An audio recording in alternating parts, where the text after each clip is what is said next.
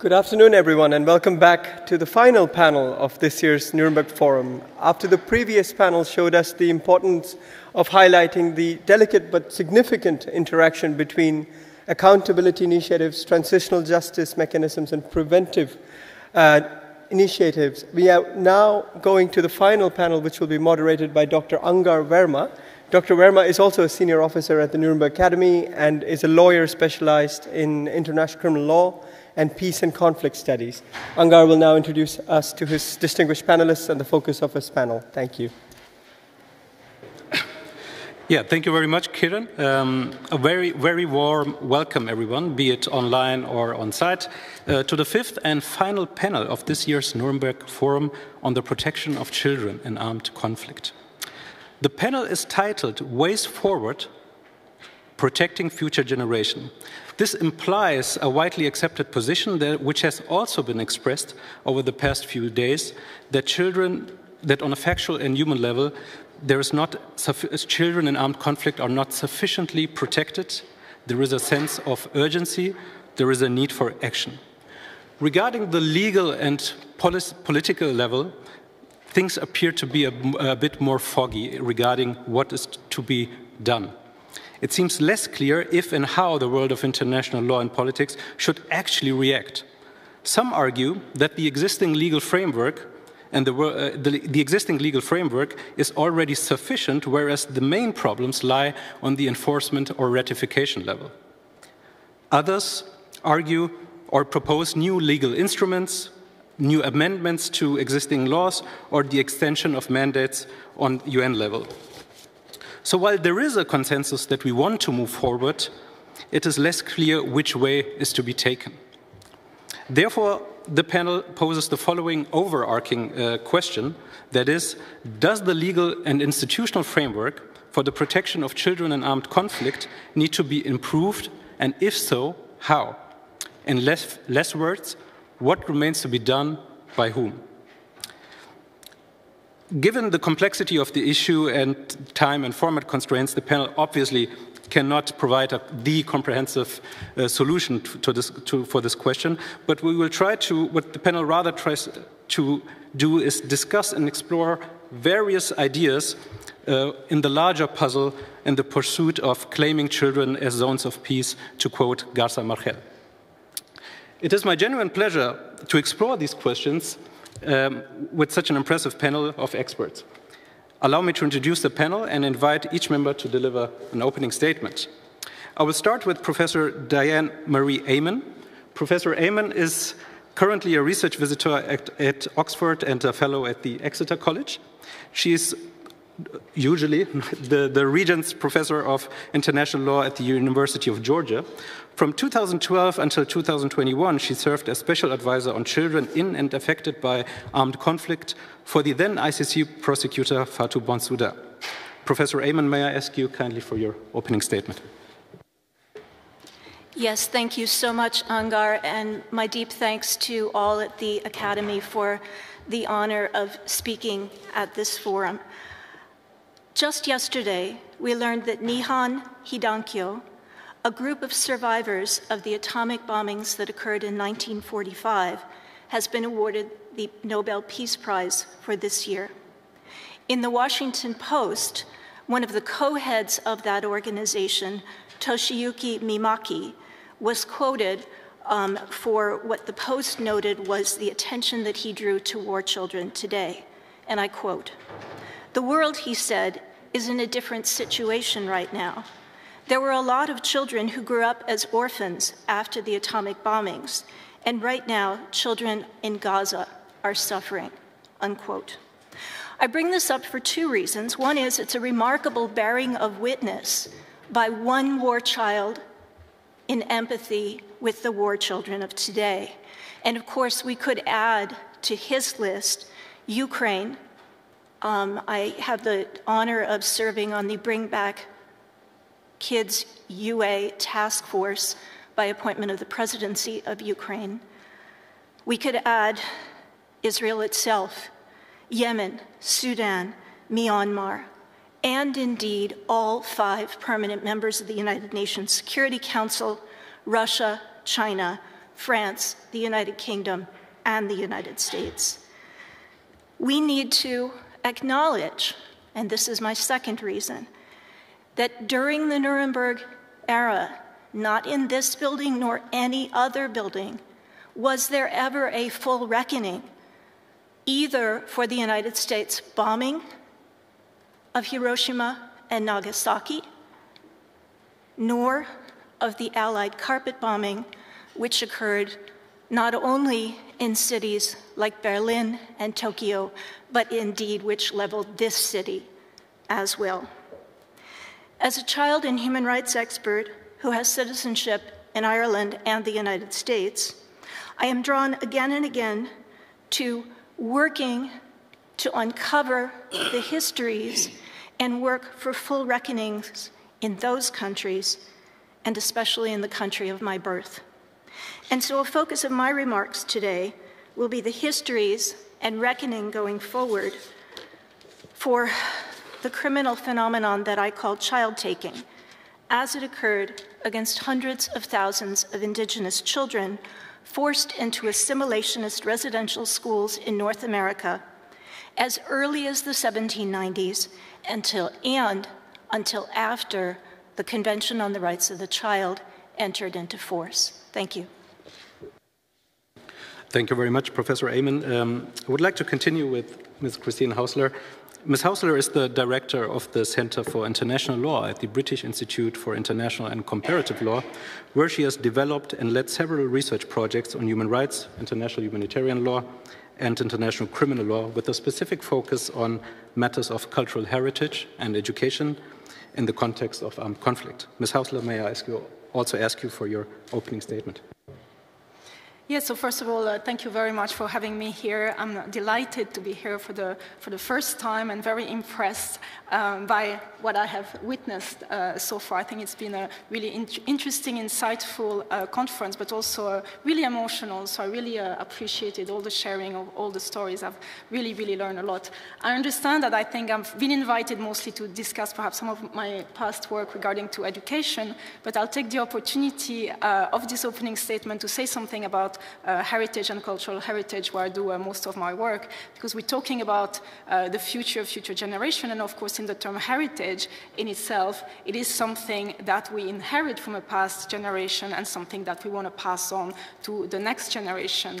And uh, just as a, as a, small anecdote to, uh, to mention how relevant this is also to children, I did conduct some training for armed forces, including non-state armed groups, and uh, once uh, I did a pilot uh, training, and that was part of a larger IHL uh, training session. And I was the very last to arrive, and it was a pilot, the first time they were doing this training on cultural heritage. So I was a little bit hesitant as to how interested uh, the participant would be in a session on cultural heritage. So I started by asking them, does it matter to you? Do you care about heritage in your territory? Is that really something you're interested in knowing more about, you know, how the law protects heritage?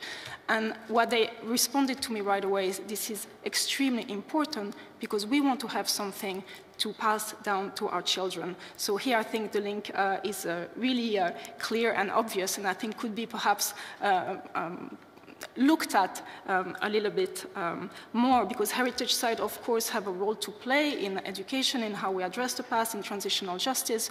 We had that wonderful uh, presentation at the very beginning with this uh, museum in Sarajevo of world childhood.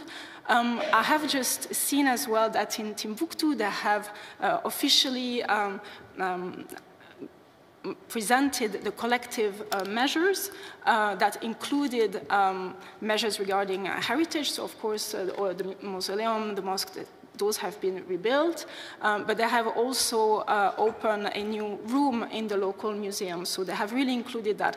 And that, of course, appears something perhaps quite obvious because they were looking at attacks on, on cultural heritage. But I think perhaps that should be included as well and considered a little bit more in also the reparations order regarding other uh, violations, including those uh, regarding children. So perhaps to consider uh, the role of this museum, of this memorial site. Uh, To the Grief, you mentioned, of course, the importance of memorialization. So I think perhaps uh, to consider the possibility of including cultural heritage, not just sites, but also objects. And I'll just end with uh, another small anecdote. I used to work with the First Nations in Canada, and uh, I was discussing with some nations there uh, who had actually all been through the residential school system and had suffered of a loss of culture, loss of their language, and we're discussing the importance of, for them of the return of cultural objects.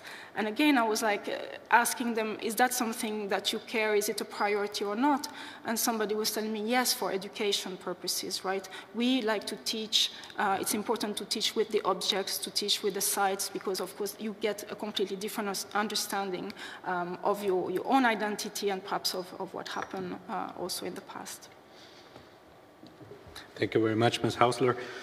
And we're also delighted, of course, delighted to have uh, Betty Kaari Murungi on this panel. Uh, Betty Murungi is currently a professor of practice at the Center for Gender Studies at the School of Oriental and African Studies. Among her many, many distinguished roles, she has served as a member of the Independent Commission of Inquiry for, for the Occupied Palestinian Territory, appointed by the UN Human Rights Council. Additionally, she is a member of the Academy's Advisory Council. Betty, a very, very warm welcome to you as well, and may I also kindly ask you for your opening statement. Thank you very much, Angar. Um, I'm really delighted to be on this graveyard uh, panel, the last panel of the forum. Uh, and this is because uh, we all sort of have a sense of uh, the subject that we're discussing. One of the highlights of my year is coming to this forum and, and sitting and listening to experts and to practitioners.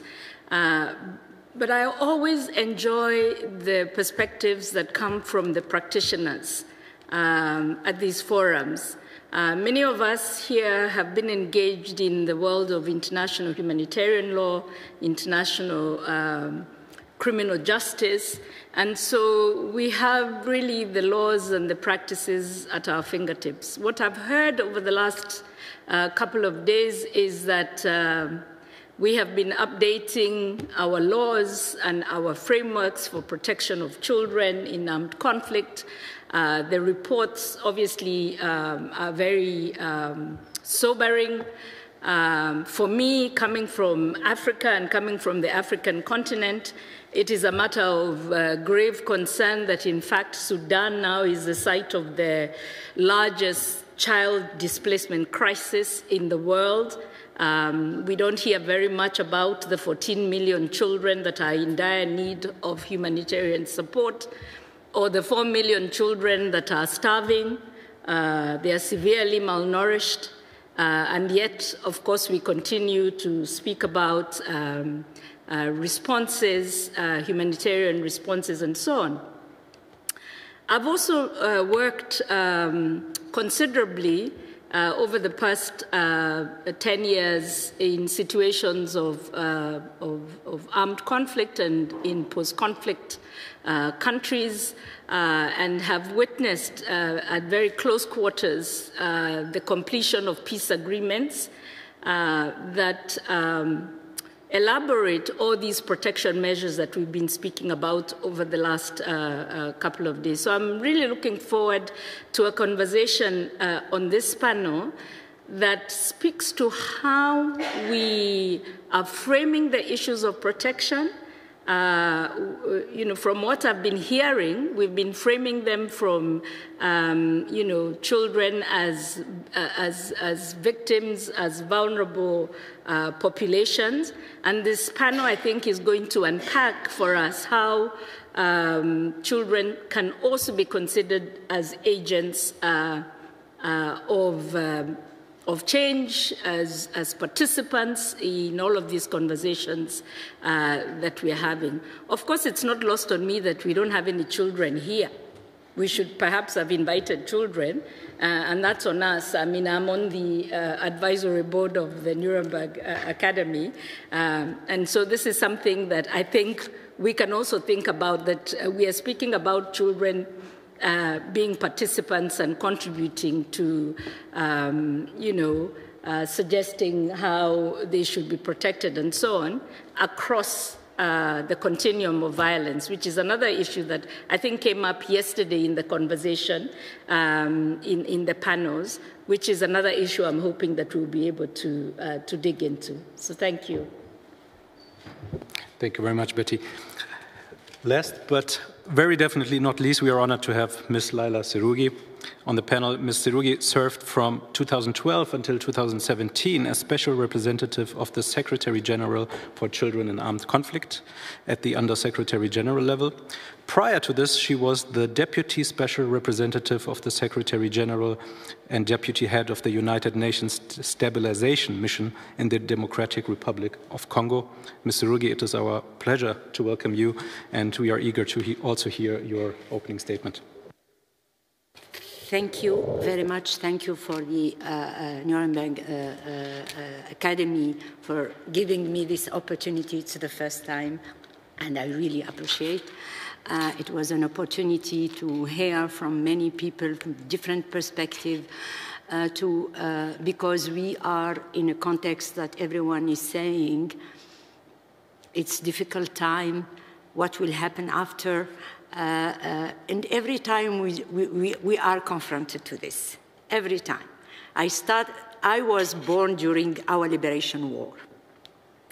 I was deprived of my father that I did not so until, see until the independence. Then I started working as juvenile judge. And then the 19, uh, 2000 difficult uh, uh, 10 years in Algeria with, with the terrorism. And then when I started in Geneva, I started with 9 11. And you can imagine you are in charge of uh, arbitrary detention, and this happened, and Guantanamo Bay created, etc. And every time we think it's a disaster. When I went to Congo in 2008, I was appointed for the first time a DSRG rule of law to strengthen the rule of law, but in, because the, in the mind of the Secretary General at the time, that we are leaving Congo.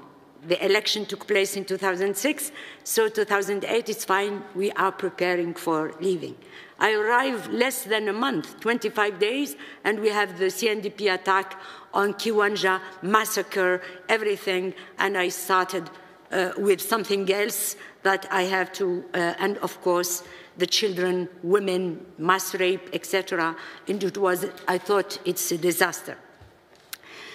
Why I'm mentioning all this is to say, when I became the SRG uh, for uh, uh, children armed conflict, 2012, the war in the Middle East, all what's happened in Syria, all what happened in Yemen, in all this was at the beginning. So every time uh, I think it's I came in the uh, wrong time.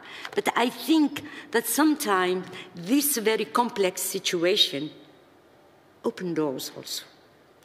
And we have to think, while we are uh, seeing all the difficulties to advance and improve uh, the protection of children, we have also to ask ourselves, in this context, how I can move in a, in a way that will, by step, help things to move in the right direction. And in my opinion, the most important of course, we hear about all the complexity that we know with, with, uh, with regard to the definition of a child, 15, 18, uh, when they, are, the government are allowed to, to, uh, to involve them in an armed conflict or not. We speak about uh, the uh, accountability, the protection of a child that testify, all these things. But I believe that in many conflict settings, these issues are not even discussed because people don't have even the birth registration. And you have to identify the child through mechanism that I put in place when I arrived to Congo. The birth, the, the birth not the birth registration, but the uh, uh, age verification mechanism. The entrance in the army the, when they get out. So you have to stop no, me. No, no, so we have, no, it's true, it's true. You are allowed. Okay, so, no, otherwise I don't want, so that's just to explain. So I have never mentioned the 15 years I only speak about 18. They ratified the convention, so I speak about 18. And never raise this issue in, in many settings where people are not even thinking about this. They are more not, knowing how to identify a child when you are 16, 17, 18. So we said we will help you by uh, creating an age verification that help you to screen your troops, ensure nobody is there, and then when you have uh, uh, an exam to uh, integrate, to recruit, we do the same for those who succeed in the exam. And then when you arrest uh, armed groups, we do the screening. That was with UNICEF, with other, and how, uh, I mean, we, we have to identify how we can advance process on the ground. The first time uh, I have to discuss the 15 years was when I was mediating between the FARC and the government. So that's, I, I, I just say how we can see uh, processes and opportunities. I can discuss later. But. Thank you very much. Uh, yeah, but, but I mean, you are speaking, speaking of the very important doors that we want to find, the open doors, yeah. right? And to get a bit more technical still, yeah. and, and yeah. uh, starting with the first question in that regard, uh, I would like to turn to you, Professor Amann. Um, focusing on the legal framework first. Um, in 2018, a book was published under the leadership of Shaheed Fatima titled Protecting Children in Armed Conflict. Not only were you a member of the uh, inquiry's advisory panel of this book, but you also engaged somewhat critically, I would also say, with some of its proposals. Um, I would like to hear your thoughts on one of the key proposals made. Uh, the authors advocated for a new comprehensive treaty to protect children in armed conflicts. So my question to you is, do you see this as a viable way forward? Do you see this as a door that we should walk through or, or put differently, should we remain committed to the current legal fr framework while amending it at most, or should we rather push for a lex ferenda in the form of a new single comprehensive treaty? Thank you.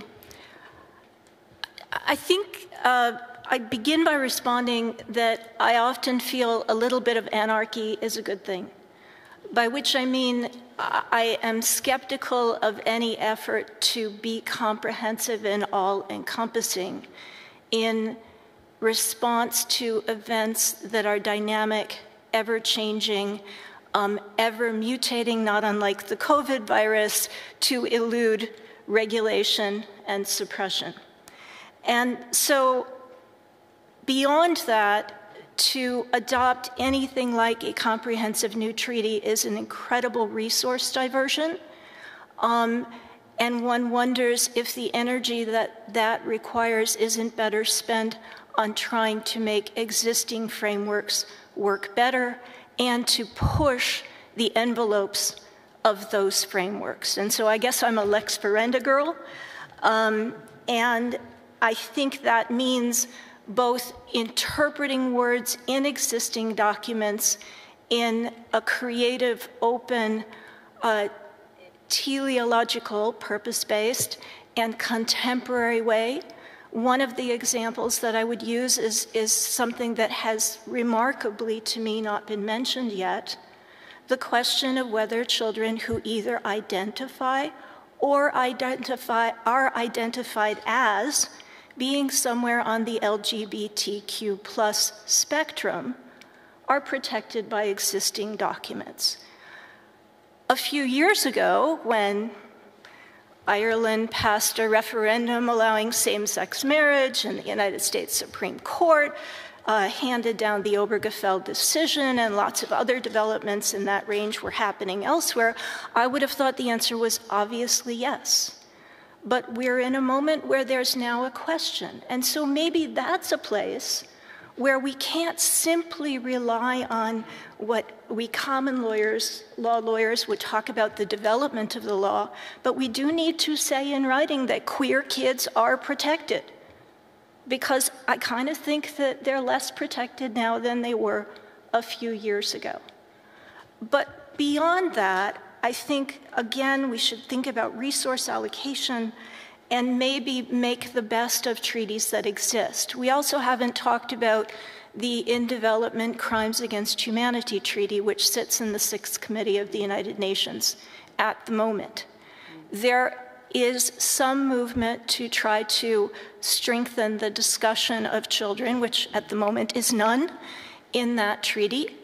Uh, it's very difficult to do because you have the question of do you just add child every in every article? Do you have some sort of manifesto in the preamble? How do you do it?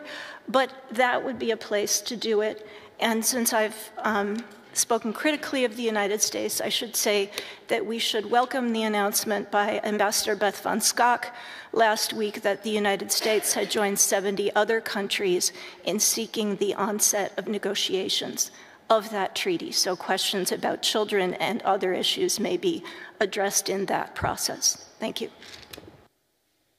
Thank you very much. And this also leads me to the next question that I would like to address to you, uh, Ms. Hausler, because in a similar yet more specific vein, um, focusing on your expertise uh, on, on, education in the context uh, of armed conflict, what is your view regarding the current legal framework? Um, are there, for instances, gaps in the legal protection of education or education-related uh, objects and persons um, during armed conflict that you think are to be filled, and if yes, how? Yeah, thank you uh, very much for the question. I think there's been uh, quite a lot of discussion already on the on the legal gaps, and uh, many of which, of course, uh, I agree with. Perhaps uh, I'll I'll build on what um, was just said about perhaps working with what we, what we have. Mm -hmm. And I, I, think I see a lot of, uh, of gaps in the implementation, uh, but also in the understanding uh, of the provisions that we have, and perhaps also to uh, better look at the different uh, provisions and the different legal uh, frameworks all together. Um, so that's um, perhaps something I, I want to um, talk about a little bit. I want to perhaps also just react to a few things that have already been said. Uh, one uh, regards uh, access to justice, and I think here there is quite a clear gap. That yesterday, um, Professor Jumbo, I think that was you, um, who asked the question whether we are really ready to listen to children. And I think that if you look at the ratification of the optional protocol to the Convention on the Rights of the Child, when it's only a quarter uh, of, uh, of, state parties about that have, uh, that have uh, ratified it a little bit more, uh, I think the answer is in a way quite clear that maybe we're not quite ready uh, to, to listen to children. I'm of course not talking about people in the room, but, but, but more widely. so I think that's this level of ratification I think is important to perhaps keep in mind. And of course it was mentioned so well yesterday by, by Professor Skelton that uh, children have all human rights. They have access to, of course, uh, other committees and can make individual complaints to, to other committees. But I think this is just quite a, quite a signal there. Uh, the other perhaps point I just want to add, because of everything that's been said regarding access to justice, is I was quite struck when we're discussing quite a bit about how children fit or don't fit the, um, the the procedures that exist. And uh, there was an interesting point that was made yesterday about uh, looking also at the domestic level. Uh, and I know that this has been discussed, but I just wanted to raise it about uh, the possibility also of looking at at um, changing perhaps the seat of the court, uh, especially uh, with, with the ICC. Um, I know that this is very difficult and there are resources issues, there are security issues, but I think that um, when you consider perhaps uh, including children as witness, that could be you know, another good case to perhaps um, move that seat. And the reason I'm mentioning domestic courts is because, again, I, I want to go back to the, the, context where I worked in the past in British Columbia in Canada. And there was a case at the, the BC Supreme Court there where they had to hear stories from elders. Actually, it wasn't children, it was elders. But they lived uh, in a valley quite far away from the seat of the, the Supreme Court. And uh, the Supreme Court decided for two weeks to actually move the seat. And it was, I think, in the middle of winter. There was snow. It was very complicated. But they did it. Uh, and they went there to, to listen to those stories. And I think some of them even had to be listened after dark because there were stories that could only be told after dark, but they were very important uh, for the, the core of the case. They had to prove title to their land. So that was uh, really important, and that's something that was to be, to be done. So it was just uh, something I wanted to, to just uh, mention, although I, I, understand the practical difficulties. Um, the other, perhaps, in terms of implementation, is to ensure also the, the understanding of the legal frameworks, uh, the legal provisions that, that we have. Um, and again, I'll, I'll, go back to you with your, your, great example and your poem about this house that can be both protective and, mm-hmm. uh, and also a, a, source of violence. And it's very much the same as schools, right? You're asking me to talk about education, but because I've worked directly with people who have been through residential schools, you can see that they can be really uh, places uh, of, of, violence and of, uh, of human rights uh, um, violation. So I think it's really important to consider, you know, what kind of education we're protecting. And if we look, for example, at IHL, it's well the protection of school as buildings, and there's very little as to what is happening uh, inside the school, at least when there is perhaps training going on. And I was quite struck as well with the mention of indoctrinations. We talked about Russia, and Professor Skelton, again, you mentioned uh, Russia coming, uh, you know, before your committee and, and being very clear that for them they think it's, it's very good to talk about these war heroes, etc. So here um, I um, perhaps wonder if there is a little bit more work or awareness raising. I don't know if it's a general comment or, or a special rapporteur's annual report, perhaps on the question of indoctrination that could be perhaps be raised um, a little bit more at the, uh, at the international level.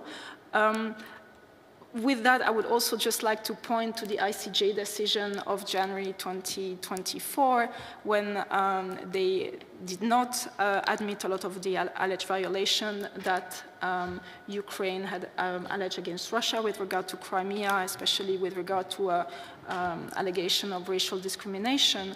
But they did admit a violation of racial discrimination with regard to schools and education when curriculums have been changed and when the language of education has been changed. So again, here I think uh, language is something that is uh, really uh, also important to keep in mind. So I know, for example, in the ICC policy that talks about, um, you know, evidence of, um, of, perhaps violation that regard education and to look at school attendance, but of course it's much more than that. It's regarding also the type of education that the people are receiving, not the number of people going to, uh, to the schools. So um, that's one point I wanted to make. And the last one uh, regards reparation. Um, I wanted to go back to the Ongwen case. It's been mentioned already, uh, of course, a couple of times. Uh, I want to salute first the, uh, the affirmation of transgeneration uh, trauma uh, in that reparation order, which I think was, was quite clear and really interesting. I really appreciated Dr. Danieli's contribution to that, and especially regarding Holocaust survivors. And again, with regard to First Nations and the trauma, the intergenerational trauma that they have suffered, and the provisions that now need to be put in place that perhaps have not been put in place, and to look at the result of not putting in place certain measures and the disenfranchisement that it leads to certain groups uh, and the self-destructive behavior and those kinds of patterns. I think there's also a lot to learn from uh, this, uh, this context. Um, the only perhaps uh, uh, caveat I want to point with regard to, to the ongoing reparations, of course, um, a lot of people are concerned with uh, the, the, amount of reparations and the, the practicality uh, of that, but of course it's also uh, something that uh, many uh, welcome um, because it's gone um, really uh, quite, quite far. Um, but I think the, the only issue I mean, I guess the point that I really appreciated in that reparations order at the very beginning was the fact that they recognized that there were victims beyond the victims that were recognized uh, in that order. And I think that's really, really an, an important factor. Uh, and with regard to that, what I just hope, and because we're still, I guess, uh, a bit in the beginning of this uh, implementation, it's still quite a new area of this implementation of the ICC reparations in the ground, is to make sure that they are integrated also with other transitional measures and that they're articulated with transitional measures. So this sort of holistic approach, because otherwise I think it's important for the court to understand that this is not the end of the process, even if it's the end of the process at the ICC, right? That on the ground it's really the beginning of a process, and you don't want to lead to a situation where you may perhaps disenfranchise other groups because they will feel uh, left out from a reparations order. So I think uh, this is perhaps something to also work on a bit more. Thank you very much, Ms. Hausler, for these very interesting different angles. And I would like to add one more perspective together with you, uh, Betty. Um, I would like to focus on our imagination of children to be protected.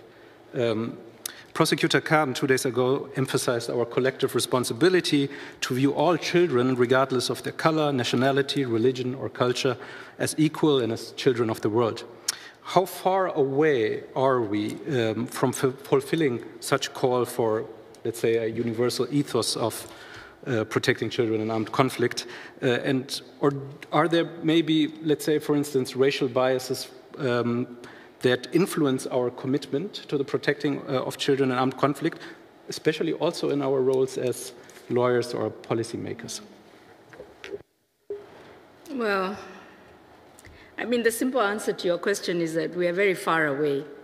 Uh, but having said that, I think the pernicious racism, for example, in media coverage um, of, of, wars that are currently raging, um, you know, in Ukraine, in Sudan, in Gaza, in, you know, all of these places, all the 13 sort of wars that are currently ongoing. I mean, that is to be expected.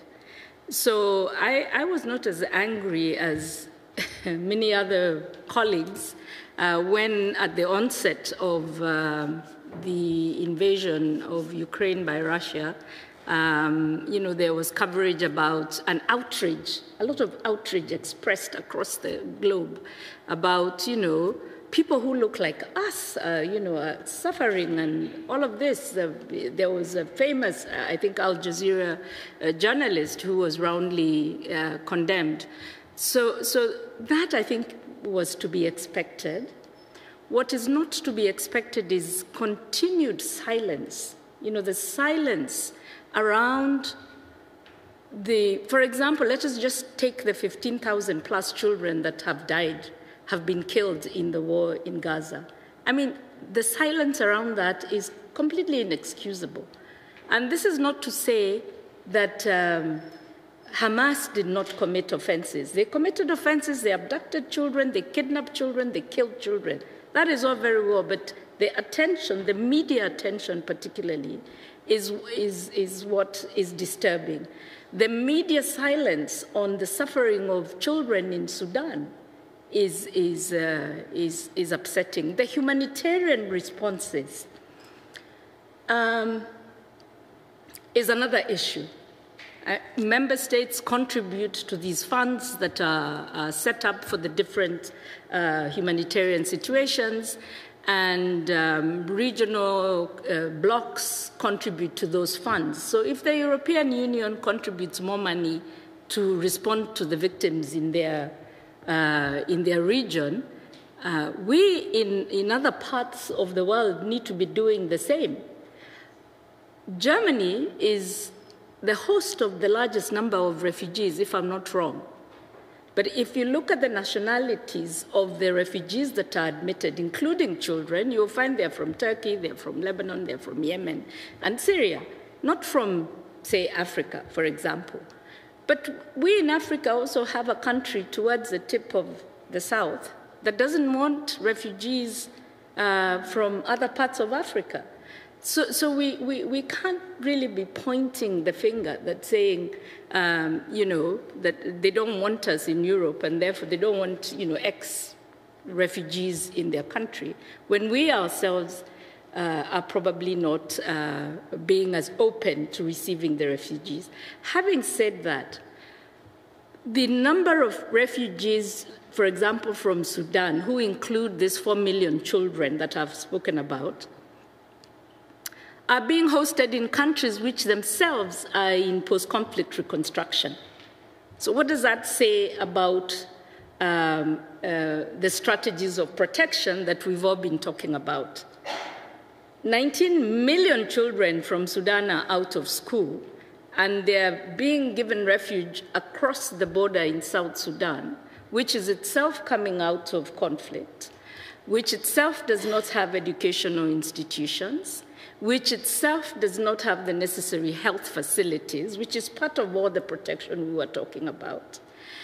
Um, so these are these are important questions. I think as uh, humanitarian um, actors and as uh, international uh, human rights actors and as international organizations uh, need to look into in terms of responses um, uh, to, to, to, the protection uh, frameworks that we're putting in place. Uh, finally, on, on this particular question that you've asked, is an understanding of the nuanced kind of experiences of children uh, affected by armed conflict. Many of these children, uh, and I'm speaking here in, in, in contexts that I'm familiar with South Sudan, Sudan, Ethiopia, and other places, are themselves acting as adults. We have children headed households. Those children are really not the child that you, many of us conceive. They have taken on the responsibility of adults because they do not themselves have parents. They, their parents don't exist, they, they were killed. And so, therefore, when you're thinking about the protection lens, um, which I think is important, how are we treating this child who is themselves responsible for children, for younger siblings? Uh, uh, in their custody. So these then become, um, you know, important aspects for us to, uh, to consider. Um, the framework of protection uh, policies that have been introduced uh, recently by the African Union um, frame children as you know victims, passive uh, victims of uh, of protection, and I think uh, that itself uh, creates uh, quite a, a, difficulty in terms of um, um, you know, having proper measures for relief and recovery where they exist, um, and for the other measures that we have mentioned, the health, the education, uh, and so on, and the other domains of protection uh, that uh, is envisaged by these laws. Thank you very much, Betty. Ms. Zerrougui, um, during the opening statement, Mr. Jasminko Halilović, who is still present with us, uh, thankfully, um, urged us to ask those in political power the question why are we not doing enough? Um, building on this point and considering your extensive experience working with states and their policymakers in the realm of children and armed conflict, I would like to ask where do you see potential for mobilizing the very essential political will um, among states, but also among armed groups uh, when it comes, for instance, um, to the implementation of policies that you also touched upon in your opening statement? I think uh, uh, when we speak about implementing, it doesn't mean that uh, because we need at an international level the legitimacy to speak about, for example, the, the uh, um, child CRC uh, uh, finding and uh, the way they are trying to uh, uh, give uh, positive and well advanced interpretation, even in, if you have, and we have to support that. Same with regard to the mandate that I used to, to be in, and now uh, uh, Virginia is, is uh, leading. Uh, we need this. There is no doubt about it. But we need also to have the entry point in the field.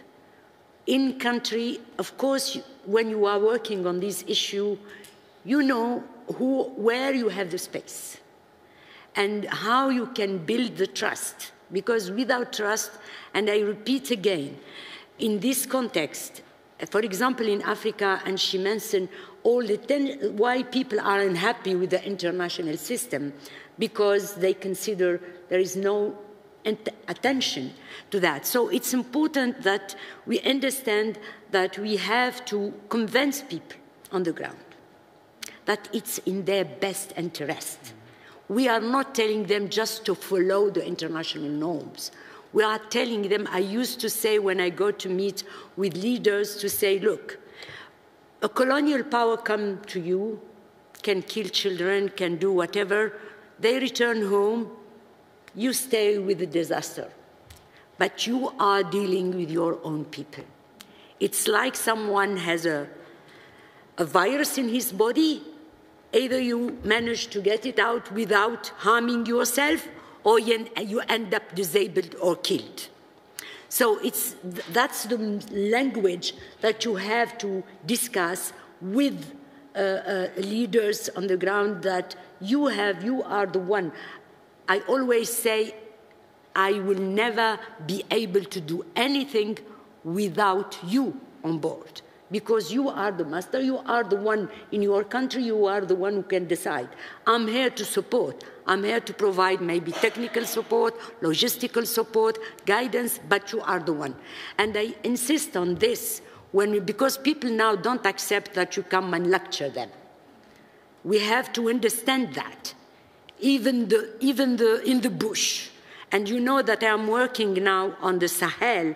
I am on the high level panel on the Sahel, and we are we met with all presidents in, in this part of the world, with all what is going on there, but people are not accepting that you lecture them.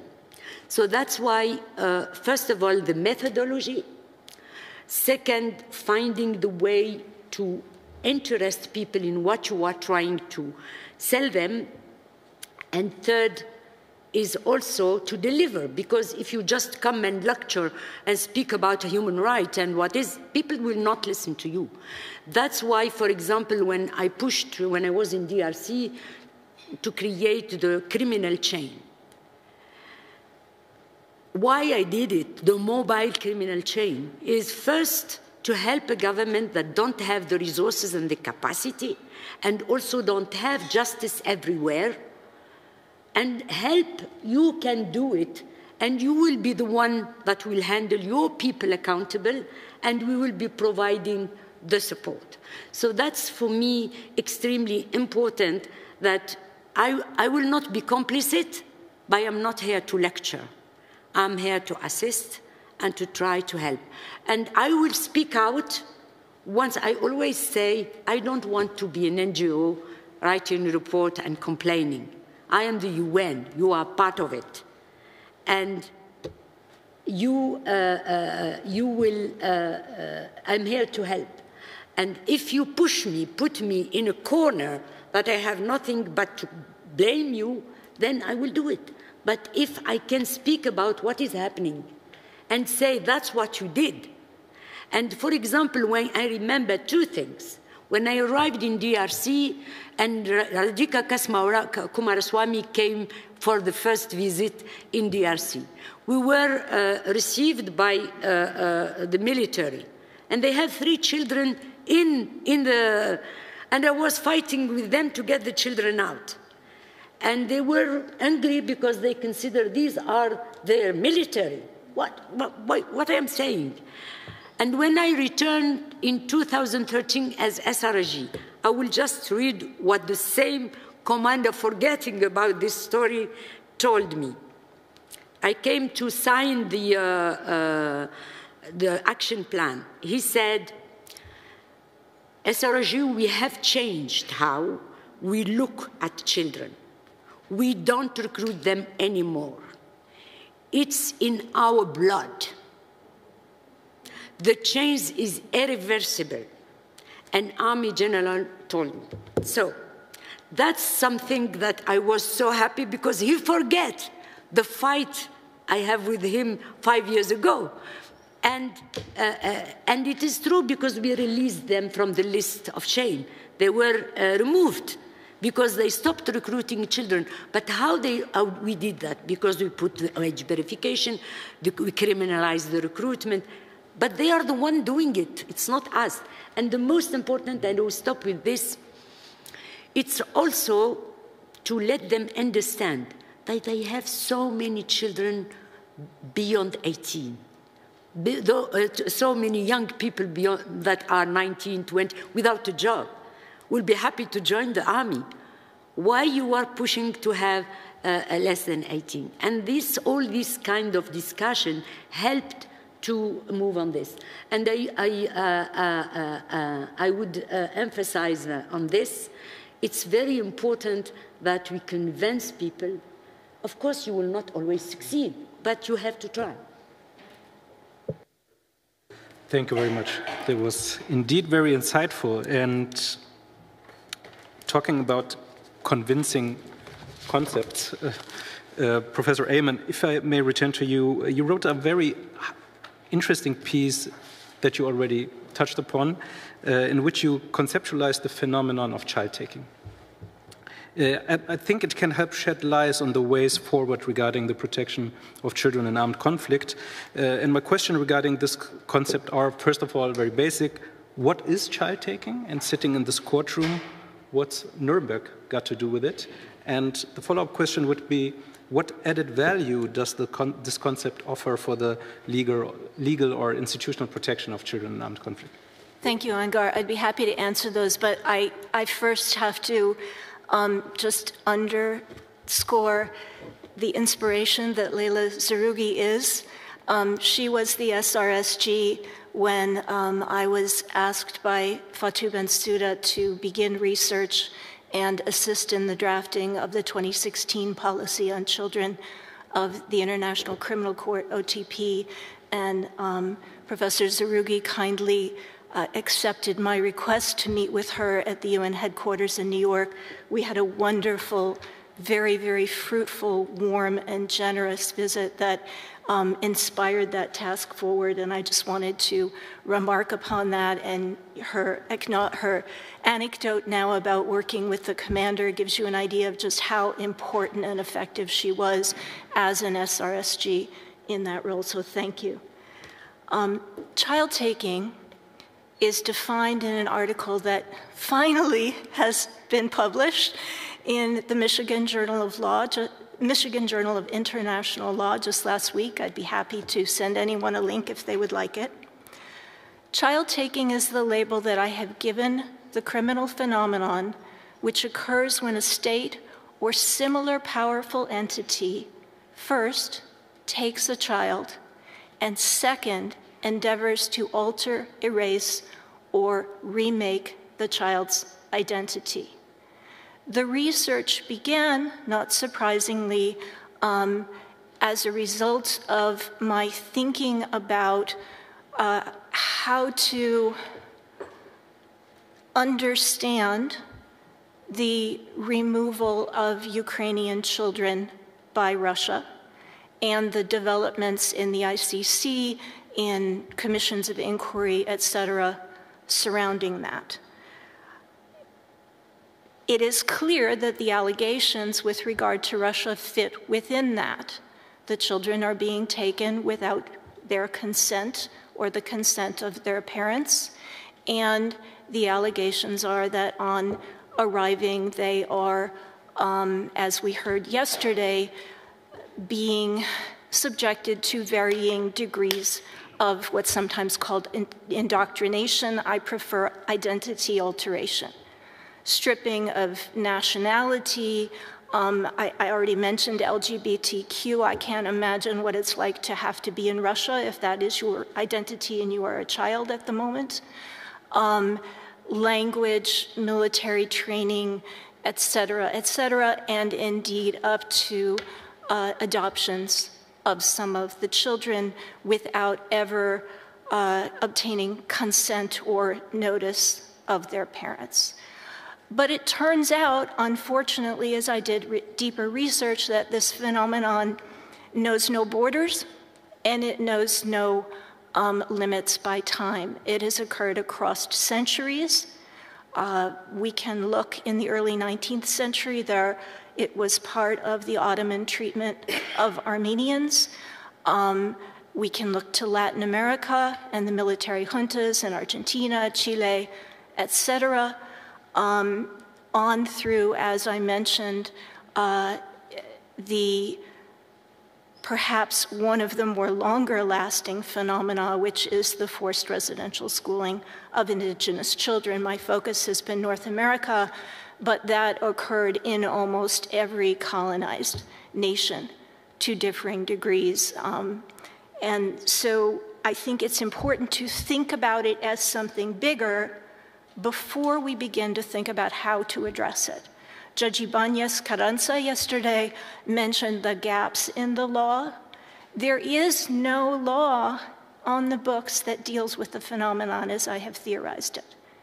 And the question is then, do we need to write something new? And my argument is no. My argument is we need to understand the wrong and then look and see what is available to do something about it. So, yes, forced transfer of children as an act of genocide is also a form of child taking, but so are lots of other things. And um, there are many, many mechanisms, whether it's, it's criminal courts or commissions of inquiry, et cetera, where that can be addressed. I think in the next round of questions, I will talk about how to think about that an ongoing way forward um, outside of criminal prosecution, in part because as to that schooling phenomenon, it's very likely that all the perpetrators are dead. And so criminal prosecution is off the table, and that makes it imperative to think about other ways of reckoning with the injustice. Thank you. Thank you very much. Um, Ms. Hausler, I would like to return to you uh, with the wish that you educate us more on education in, uh, in the context of IHL, so to speak. Um, Ms. Zerrougui already touched on the difficulties of securing protection uh, for children in relation to armed forces. Uh, and indeed, we all know that international humanitarian law needs to be uh, respected by state and non, non-state groups in order to be effective. And in the context of education, where do you see potential in that regard? Thank you very much for, for the question. First, I, I just want to come back to what was said about the term uh, indoctrination, because I think I very much agree with you that actually maybe it's not quite the right term, uh, and you, you use alteration of identity. Um, there's been a, a, report, and I saw also Dr. Bussel uh, here, who also contributed to a, um, along with me to a report to the Council of Europe that was on cultural erasure. So yet another term, but that's also perhaps along the lines of what you're talking about that I think goes beyond uh, indoctrination really. So uh, thank you for, for that, um, that point. Uh, yeah, with regard to uh, armed groups, um, I did want to mention it because we're talking about um, children in armed conflict and uh, there hasn't been much discussion of armed groups so far. Um, and I think there's been quite a shift in the discussion. I mean, of course, when uh, you had um, ISIS and everything that was happening um, in, in, Syria and uh, in that region, there was a lot of focus on armed groups. And now, I guess, with the, the full-scale invasion of Russia, the, the shift has somehow gone back to, uh, to state obligation. But of course, armed groups uh, also have obligation um, that they need to respect um, during armed conflict with regard to IHL, um, possibly also um, um human rights uh, law.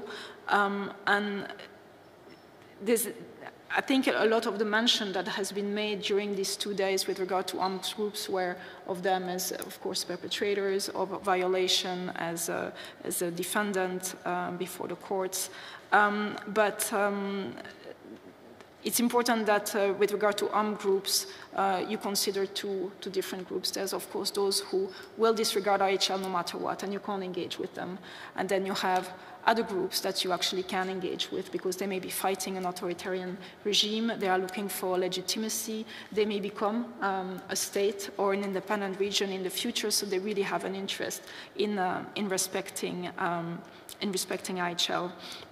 Um, so I'll perhaps just uh, highlight, because uh, some of the work I had done on protection of education was with Geneva Call, and I'm sure many of you will be familiar uh, with them and the work they've done on, on, seeking to engage with armed groups. They have deeds of commitment uh, where they invite armed groups to come and, and um, abide, uh, sign a document, an official document that they will abide by the rules. So it doesn't, uh, of course, um, change their status in any way, and they are bound by the rules already, but it's for for them to show that they are committed to abide by the rules, so kind of making it uh, somewhat more official, and that's uh, one way to go about it. They have one of the deeds of commitment is specifically on children in armed conflict, and it's actually the, the out of all of the deeds of commitment that they have, it's the, the second best, uh, I can't say ratified, but signed by, by the groups.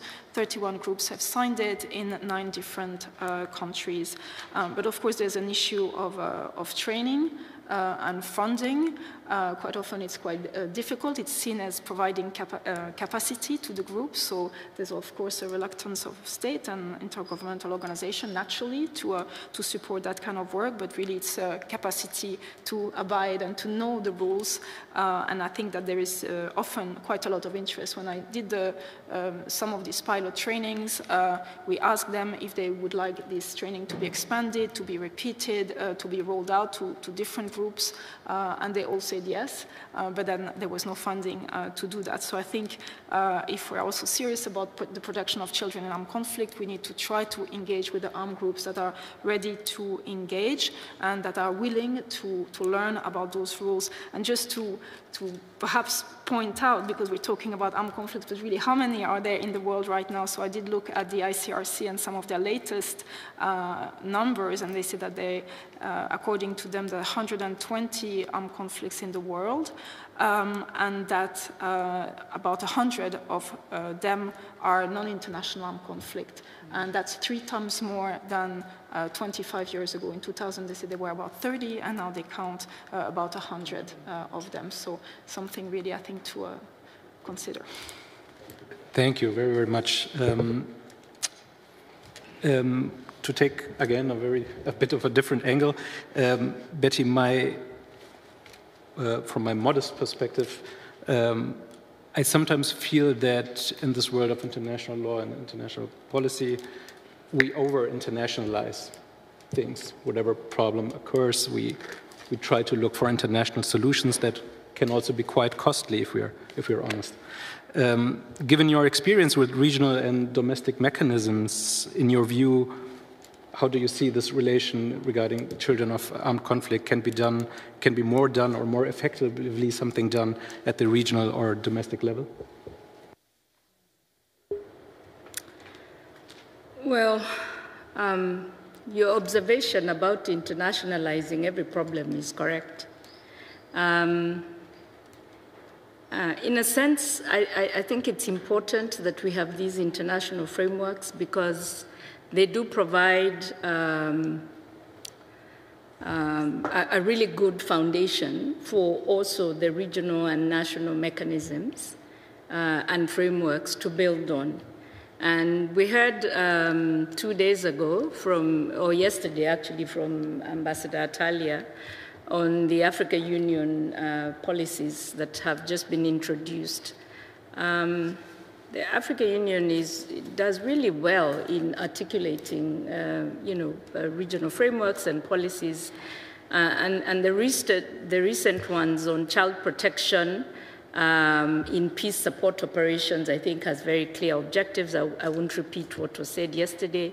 And then the other policy on mainstreaming child protection in African peace security architecture is really just uh, providing guidelines for uh, member states on how uh, they are to um, implement their child protection policies. But on the ground, the domestic national legislation, I think, is what needs strengthening.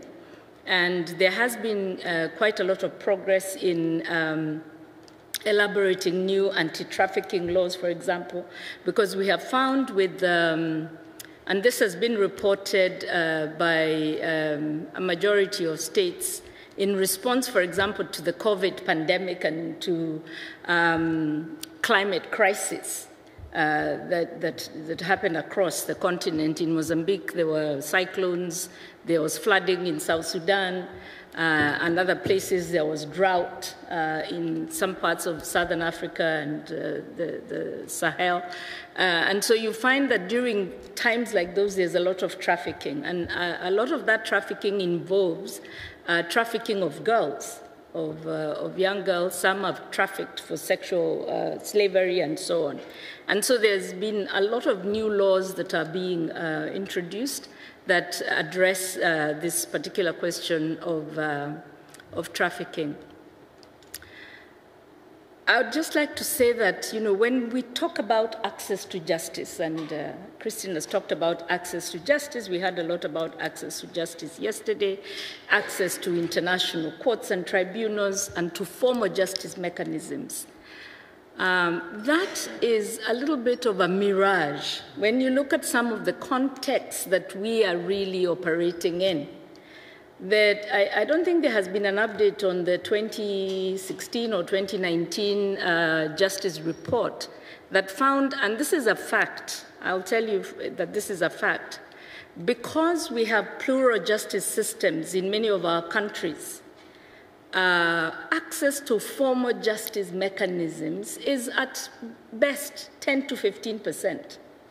The rest of the mechanisms that are available, even to children in armed conflict or to uh, communities in armed conflict, are informal justice mechanisms. So, so what we are thinking in, in this community of actors that uh, is involved in transitional justice and so on is that we need to strengthen those mechanisms that are available to the vast majority of the population.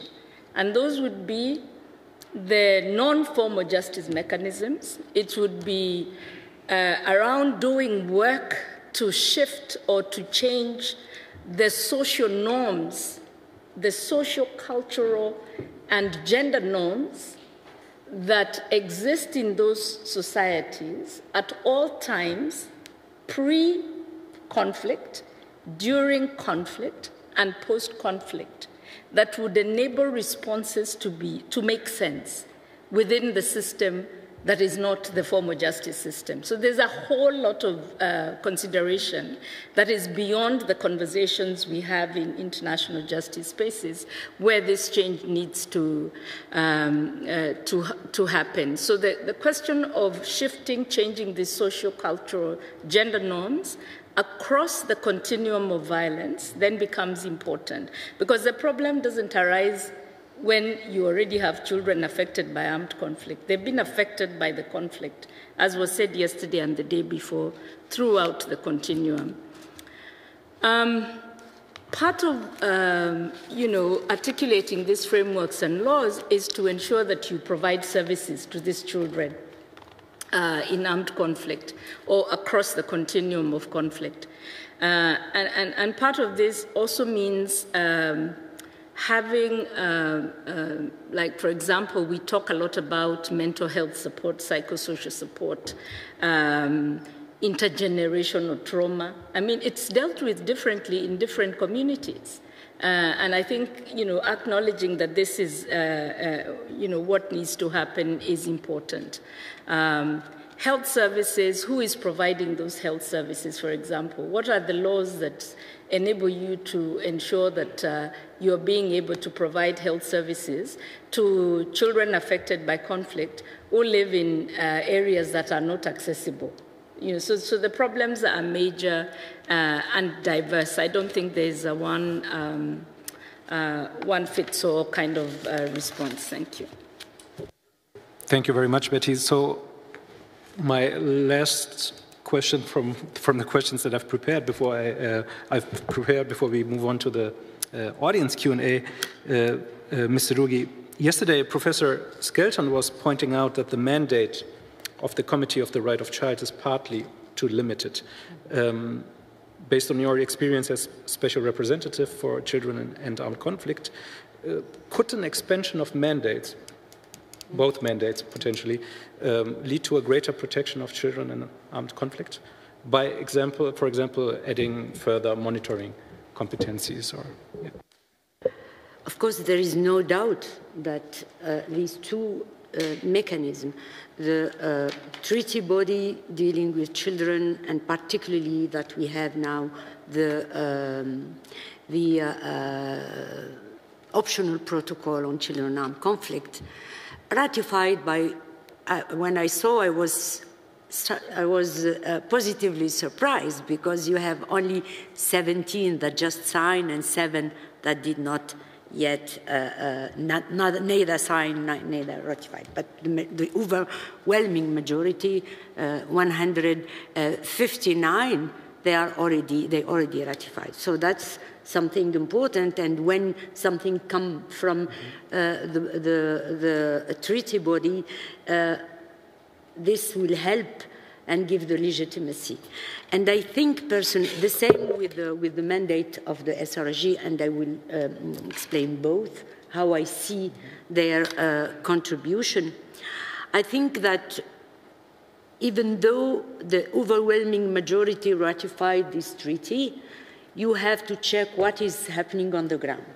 And I think, as I mentioned, it's extremely important to implement in the law, not only, uh, but to make sure that, and to do that, it's important to have sometimes field visit.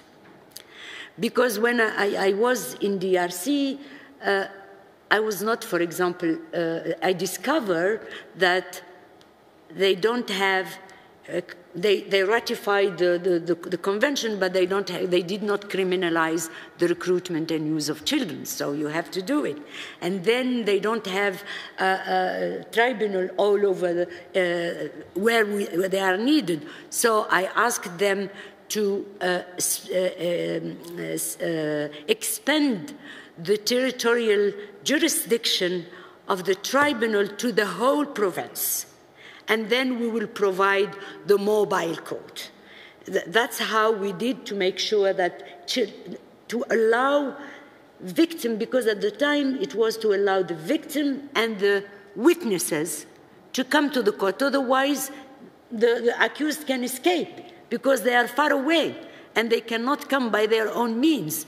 Uh, so that's how we can and provide the lawyer for the victim and the lawyer for the accused to, preserve, to pr protect the right, the, the right to fair trial. All these things, I think the uh, treaty body, when you work with the, to uh, uh, examine uh, a country situation or when you have the opportunity through uh, communication is also to provide this kind of pragmatic solution and not besides what you give at the, the, legal framework, but it's important to have this pragmatic solution to help a government because sometimes they don't know and sometimes they don't have the means, so they forget about it because I cannot implement it. That's for uh, the treaty body, and I think uh, uh, personally, uh, their tools are extremely important because when you speak with the government, you say, you endorse, you accept. It's not, I'm bringing something uh, that you already not accept. The second thing is the role of the, the um, SRG on children in conflict. This is more political. Give you the space. It's Security Council, and then you can, through the Security Council, uh, get this kind of support, pressure. They come visit on the ground and for, you organize the visit, you allow for the kind of question that they have to raise with the president, etc., and help things to move to the right direction. And for, the most important is also to know how to seize the opportunity to advance the protection. Now, for example, we are in a situation, and that's why I think the treaty body have to play an important role because we are seeing squeezing the space for uh, uh, the peacekeeping mission. They are almost closing. They left Sudan without any transition. In Congo, they are only present in two provinces. I used to be present in 16 provinces, everywhere in Congo. So that's a challenge that they will face. They will not have enough resources. To, so for me, it's extremely important to keep the child protection on the ground. You cannot uh, uh, rely only on the country team, not because they don't want, but sometimes they don't have the space, the political space. So human rights, child protection, uh, uh, uh if uh, the, the, gender staff, etc., they need to, to be preserved, at least for a transition, to prepare for uh, someone else to take care of. That's extremely important, and I would really call on member states, and I will ask you to do so, is to ensure that there is a transition and we keep this tool on the ground at least for a certain time. It's important. This, the last, and I will, I know that I'm taking, abusing, but the last thing is also to use, because I uh, deliver, because thanks to UNICEF, thanks to NGOs like Save the Children, thanks to ICRC. Thanks, these are uh, uh, also uh, partners that you have to use, and also the regional organization. African Union. Sometimes one country uh, can help you because they have the space in, in this place and you can rely on and you can work with and you can open the space. So it's very important that when you uh, try to advance the implementation of what is adopted at the international level is to give the, the right wording and the space to people on the ground to help you uh, to advance the implementation. And we need it more and more in the future.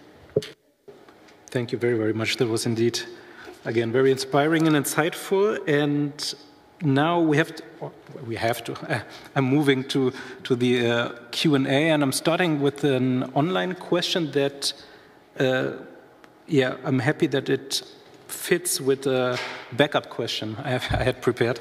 Um, and it, it, it, relates to, to, to the point Professor Amann already touched upon um, on, on the question of accountability. Um, because sometimes when in the international justice discourse, so to speak, I feel there's sometimes a, an ICC centricism or um, international, uh, international criminal accountability Centralism, Um, what alternative justice mechanisms to protect the uh, children in armed conflicts do you think could be could be helpful and useful, and why? And if you you're very, uh, we were also happy if you connected with child taking again. Yeah.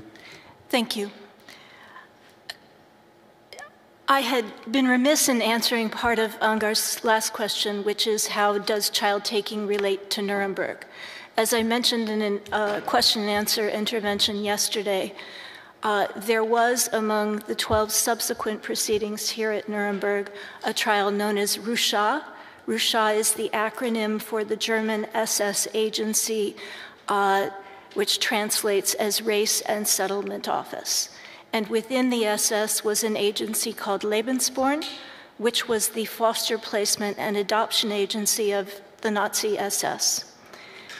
The trial of 16 individuals that was held in this building um, charged, among other things, what then was called the war crime and crime against humanity of child kidnapping.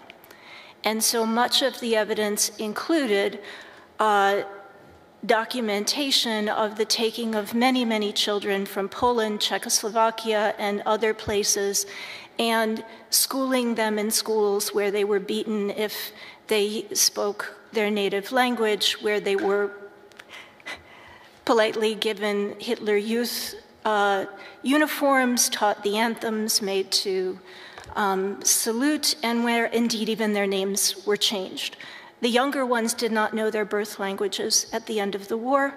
Um, many of them never returned, particularly if they were very young, there was no way for them to be traced after the war. Four of the 16 defendants were top officials of Lebensborn. One of them was a woman. Um, all four were acquitted because the court found that it was a benevolent charity. I think that that's a signal of the care or or, or caution that we should take before we prosecute um, things that are thought to be horrible. Uh, if I have an article that goes into why I think the acquittal happened, but anyone who works in international criminal law can kind of imagine how that might be. Therefore, even if we have live perpetrators, we should be thinking always about what brings the most redress, what enforces prevention. Thank you, Professor de Greiff. For me, this is the most important thing. We shouldn't have to worry about wrongs because they shouldn't occur to begin with. And what brings genuine reckoning and redress, both for the affected community and for the community that is seen as the perpetrator? What if you're the grandchild of someone who was involved in Jim Crow oppression? That can be very, very hard, I know from my students, to process. And our transitional justice mechanisms always should take into account how we're helping the entire society understand and get forward past histories. Remarkably, the United States Department of Interior has undertaken a three year process, which just concluded in July, of uncovering the histories of forced indigenous schooling in the United States and documenting it in two reports that are over 200 pages long, plus 18 appendices. Among other things, they identify by name 18,000 children who were in the schools. There were many, many more, but they've spoken the names of 18,000 children. They've spoken the names of over 400 schools. And they have um, made recommendations there, but the, the, reports all have photos in them, so you have graphic as well as content, uh, li literal content. The process, and I think this is perhaps the most important thing, and I'm going to stop so my other colleagues can talk. The process occurred hand in glove with the Native American Boarding School Healing Coalition, which includes um, survivors of those schools who are now in their 70s and um, includes a 12 stop healing tour to places where Native communities were so other survivors could give their testimonies. That seems to me to be the kind of thing which was done in Canada and Australia and New Zealand in different ways, and many, many other countries for other issues, that we perhaps should invest more energy into than we have. A national and local community based process that may resonate more with the society most of concern. Thank you. Thank you very much. I would like to move to a um, question that comes from the in presence audience. If there is anyone interested, and yeah, Professor Skelton.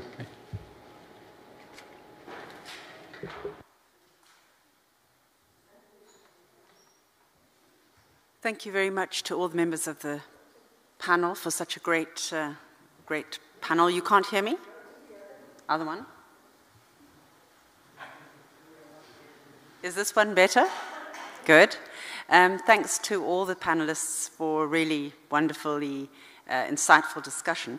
Um, my question is for Leila Zerrougui, and it's about the fact that the um, not all the six grave violations trigger a listing in the annexures. And of course, it's a listing in the annexure of the Secretary General's report that leads to a plan of action, which is a direct engagement which can uh, both provide redress and perhaps uh, also help with prevention.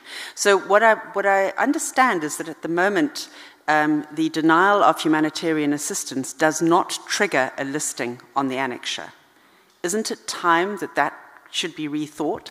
And who does that rethinking and how do we make that happen? Thank you, uh, Anne, for uh, raising this issue because I think uh, uh myself, uh, uh, I was expecting after I left that the, late, the last violation will be also added as a trigger for listing. But uh, when we know the history, it's important to know then to see how we can advance.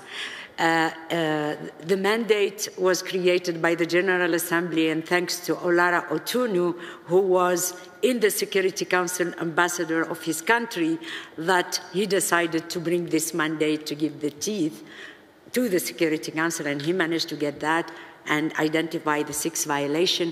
And just one year later, we have the first trigger for this thing, uh, recruitment and use.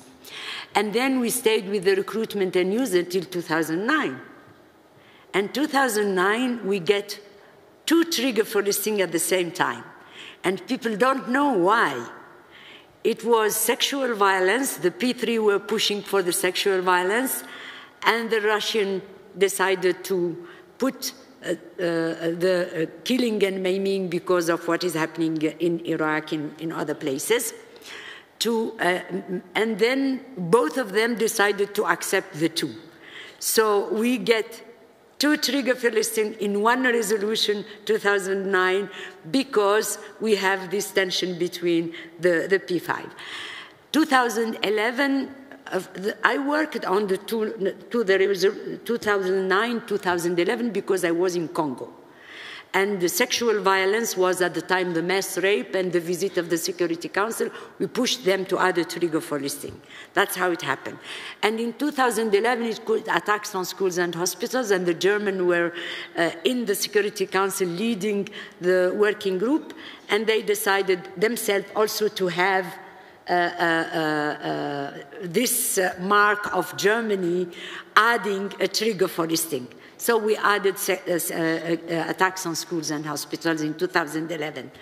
And when I was SRG, I pushed for abduction because we have a lot of abduction at the time, so we used it with, uh, to, uh, and it went uh, easily.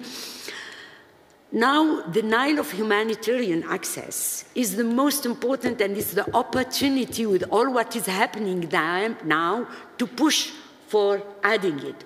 But the problem is that always resistance, and because what is happening in Ukraine, what is happening in the, in the Middle East, certainly you will have resistance.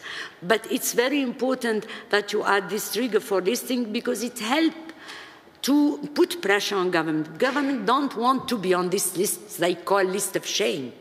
So I think uh, uh, we have to see, and I, I do my utmost best if uh, uh you can coordinate with the country, with the, with the, the, the, the mandate, but also to identify the friendly country that will maybe help this to happen because it's unfair that this, this uh, trigger stay outside like you can uh, uh, deny the access to uh, humanitarian access to, to children.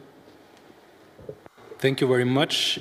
Depending, we have five minutes left. Depending on the length of the question and the length of the response, uh, that should be sufficient. Uh, I see an interest uh, question. You, you, okay? Yeah, of course. Yeah, yeah, sure. Yeah, I think let's let's see. Please. Thank you. Um, first of all, a huge thanks to this incredibly impressive panel that we have before us. My question is also to Professor Zerrougui. Um, and it relates to the Children Armed Conflict mandate, and it's such a privilege to hear about your experiences as the special representative of the Secretary General on Children Armed Conflict. So, in the spirit of the kind of theme of this panel as ways forward and protecting future generations, I'd love to hear from you how you envision the future of the mandate, the opportunities that there are for growth at a time when the mandate is becoming increasingly politicized it's a mandate under attack, and yet the need for it is so humongous in that one in six of the world's children live within 50 kilometres of a conflict zone. We see that grave violations against children in conflict are at an all time high. So, how, my question is, where do we go from here? What are the opportunities for growth? And do you regard the future of the mandate with optimism or pessimism? I, I, uh, with, with all what is going on, I still continue to be optimistic because there is no other option if we would like to ensure, to support and to provide some positive aspect to those who are in need. Uh, I think that the mandate uh, uh, used to be attacked in the past, so I think it's, this time the mandate is not under threat. It's not the mandate and the threat. The, what is in the threat is the task force on the ground and the monitoring, because you are seeing many uh, mission, peacekeeping mission, political mission, either le- uh, send home without any transition or closing or whatever. And there is no appetite to open new mission. And I know that we are trying to think how we can deal with this, and I, am uh, discussing with uh, peacekeeping. So uh, that's the problem. The problem is not threat on the mandate; it's more the, te- the teeth that we must find option, and that's what I said through UNICEF, through uh, uh, uh even pushing for the funding in the budget. That must be a space where we have to work with the General Assembly, working to make sure that we have uh, this presence. For example, when we closed the, our presence in, in the Kasai, I managed to get one year for the budget of the mission to pay the human rights office there because I explained that we are in transitional justice there and they will provide the support. I hope I answer your question. Definitely. Thank you. Thank you very much. I'm very, very sorry, uh, Professor Danieli. I don't think we have time for another this question really because I've been because clearly signaled. Of, this is to the German government. Sorry, what? This is to the German government. Professor Amann just spoke about the United States accounting for crimes that happened many years ago. Almost, some of them were going on uh, until the 30s or the 60s. we know scientifically that children of survivors of the Holocaust, uh, not all near, need treatment, but many do. They don't get reparations for that. Part of the reasons I came here was to bring that message, and I didn't want to leave without saying it. Thank you. Okay. Okay, thank you, Dr. Danieli. So I've been clearly signaled that the panel on the ways forward, that the way forward for the panel is its very end. And uh, so this is how I conclude and hand over to my colleague and friend, Dr. Kiran Menon, Mohandas Menon.